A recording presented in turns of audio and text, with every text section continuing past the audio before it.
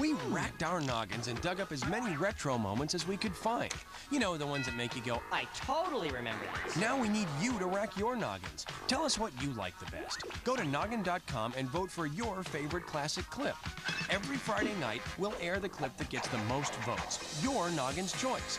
Then once a month, the weekly winners compete to become the big one, your noggin's choice of the month. And if you tell us what you like about your favorite clip, you just might see your thoughts on TV. So go to noggin.com and vote for your noggin's choice.